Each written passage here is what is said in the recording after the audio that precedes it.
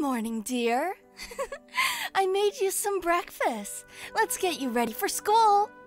Girl, Jake is so hot.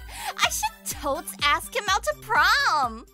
Mom, my doofus brother is bothering me again. Tell him to stop.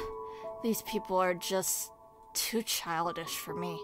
Should probably join a band. I just wanna see people smile. hey, how are ya? Hope you're having a lovely day. Mine is going so good. Hope to see all my friends today.